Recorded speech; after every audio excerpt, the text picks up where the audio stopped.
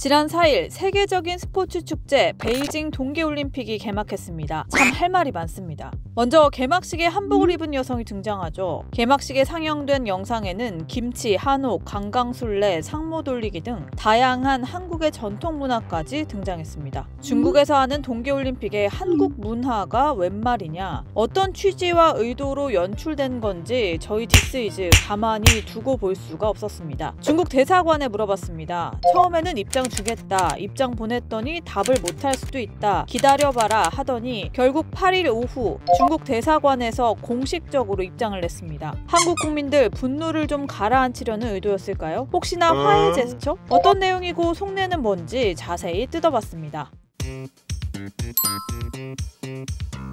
먼저 중국 대사관에서 발표한 공식 입장 원문부터 살펴봅니다. 자, 여러분도 같이 보면서 한번 판단해 보시죠. 최근 한국의 일부 언론에서 중국 조선족 대표가 민족 의상을 입고 베이징 동계올림픽 개막식에 참석한 일에 대해 억측과 비난을 내놓고 있다. 여기서 한복이란 단어는 나오지 않죠. 중국 조선족의 민족 의상, 그들의 표현에 의하면 조선족의 민족 의상입니다. 국민들의 분노는 애써 외면하는 건지 지금의 논란에 대해 한국 일부 언론 언론들의 탓으로 돌립니다. 일부 언론에서 부추기는 억측과 비난이라니 우리 국민을 너무 과소평가하는 것 같은데요. 그 많은 SNS상 분노와 댓글들은 못 보셨나 보죠? 그러면서 오히려 중국 네티즌들 특히 중국 조선족들이 매우 불만스러워한다고 합니다. 문화공정은 자기네가 해놓고 조선족과 우리 국민들 이간질시키는 모양새죠. 실제로 찾아보니 조선족인 박광성 운남민족대 교수는 주최국의 취지를 아랑곳하지 않고 자기 멋대로 해석하여 부정적 여론몰이에 나선 것은 한국 사회에 왜곡되고 모순된 심리 상태라고 말했습니다. 한국 네티즌의 분노는 언론이 부추긴 것이고 중국 네티즌들의 화를 얘기하죠. 입장이 뒤바뀐 것 같은데요. 화를 내야 할 사람은 누굴까요? 주최국의 취지를 멋대로 해석했다고 하는데 그렇다면 중국에서 열리는 동계올림픽에 우리나라의 전통 문화가 나오는 것이 도대체 어떤 취지라는 건지 궁금해지죠.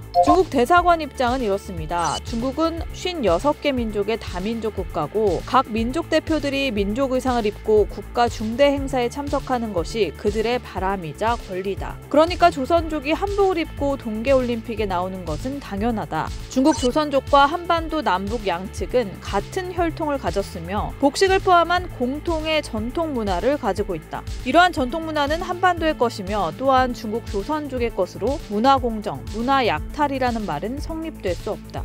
즉 한국 것이기도 하지만 중국 조선족의 것이기도 하다. 그러니까 니꺼 네 내꺼 할 게 아니다. 뿌리와 기원은 한국이다. 끝까지 그런 말은 안 하죠. 입장문에서 표현한 것을 봤을 때는요, 한국이 원조라는 부분에 대한 답변이 빠져 있다라는 게 제일 아쉽고요. 문장 자체로 봤을 때 굉장히 지금 두리뭉실하게 좀 애매하게 표현을 한 거는 사실이고요. 이런 문화가 한반도의 것이며 동시에 중국의 조선족의 것이다. 이렇게 말하는 것은 문화 공적의 여지를 남기기 위함이지 이것을 뭐 우리의 전통이라고 온전히 인정해주는 그런 태도는 아니라고 생각합니다. 그런데 중국이 발표한 입장문에서 이 흐름 익숙하지 않나요, 여러분? 제가 여러 차례 언급한 문화 공정 그 흐름입니다. 타국에서 이주해온 이주민을 자신의 민족으로 흡수해서 본국의 문화를 중국의 문화인 것처럼 만드는 시도. 바이두에서 한복의 기원 한푸라고 했었잖아요. 아리랑 상모 돌리기 다 말하기도 입 아픕니다. 한두 번 그런 게 아니라서요. 다 해온 역사가 있으니 국민들이 화가 난 거고 언론도 기사를 쓴 거겠죠. 이걸 순전히 오해, 억측이라고 할 수 있을까요?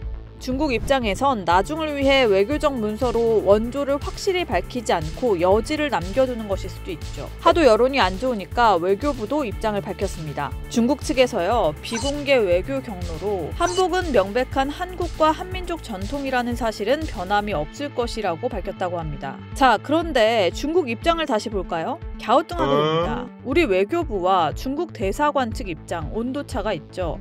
중국 정부에서 어떤 경로를 통해 우리 측 외교부에 전달을 했는지는 잘 모르겠지만 중국 정부에서 진정으로 한복이 대한민국의 전통 의상이라는 부분을 인정을 했다라고 한다면 자신 있게 발표를 할 수도 있는 부분이라는 저는 생각이 들거든요. 그런 부분들에 있어서 앞으로 중국 정부는 진정으로 대한민국의 전통 의상이 한복임을 인정한다고 한다면 공식적으로 어떤 행동으로 보여줄 수 있는 그러한 진정성을 나타내는 것이 더 중요하다고 생각합니다. 사실 계속 문화공정 취재를 해왔던 입장에서 볼 때요. 중국이 이런 일에 대해 입장을 내는 것 자체가 보기 드문 일이긴 합니다. 상당히 이례적이긴 한데요. 그렇다고 안심할 일은 아닙니다. 이유를 들어볼까요? 주한 중국 대사관에서 입장을 발표한 건 굉장히 이례적인 일이라는 생각이 들고요. 가장 큰 이유는 지금 현재 이런 한복 공정과 편파 판정에 관련돼서 한국 내 여론이 반중 정서로 굉장히 크게 치달아 있다. 어떤 그런 부분을 좀 수그러뜨리려는 목적이 있었던 것 같고요. 특히 이제 외신에서 문화 약탈국이라는 그런 이미지로 전 세계에 낙인 찍힐까 하는 그런 두려움에서 이런 입장문을 발표한 게 아닌가라는 생각이 듭니다. 동계올림픽으로 전 세계적 이목이 중국에 집중되어 있을 때 전 세계의 중국이 문화 약탈국으로 찍히지 않기 위해서 한국 여론을 진정시키려는 것으로 보인다는 거죠. 하지만 의도가 어찌됐든 오히려 논란을 부추기고 있는 걸로밖에 안 보입니다. 한복 문화공정 논란에는 한국 언론 탓, 다음 날 낸 베이징 올림픽 편파 판정 논란에 대한 입장에선 한국 언론과 정치인 탓, 언론과 정치인이 반중 정서를 조장한다. 엄중한 우려와 엄정한 입장을 표명하지 않을 수 없다. 이렇게까지 합니다. 마치 오해고 우리가 과민하다는 듯하죠. 글쎄요, 이럴 때 우리는 안 하는 이만 못하다라고 하죠. 작년 11월 한 대학 조사를 보죠. 2018년 대학생들에게 물어봤대요. 한중일 국가 호감도 5점 만점에 중국에 대한 호감도 2.14점, 일본에 대한 호감도 2.83점. 이미 반일 정서보다도 반중 정서가 컸다는 거죠. 오히려 올림픽을 계기로 불공정한 거 못 보는 2030 세대들 반중 정서에 더 불을 붙인 것 같은데요. 재밌는 건 중국 대사관이 하루 뒤 황대현 선수가 이 모든 역경을 딛고 금메달을 땄을 때는 뭐 축하한다 입장을 또 냈다는 겁니다. 병 주고 약 주고인 건지 참 입장 표명의 흐름도 특이합니다. 미움은 받기 싫은데 그렇다고 잘못도 인정하기 싫다? 둘 중 하나만 하라고 하고 싶네요. 그리고 우리 정부 소극적으로 대응해 오고 있지 않습니다.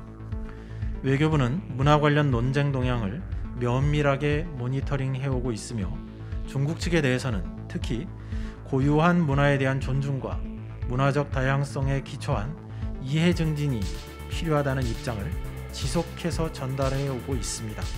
앞으로도 외교부는 이러한 관련 노력을 계속해서 경주해 나갈 예정입니다.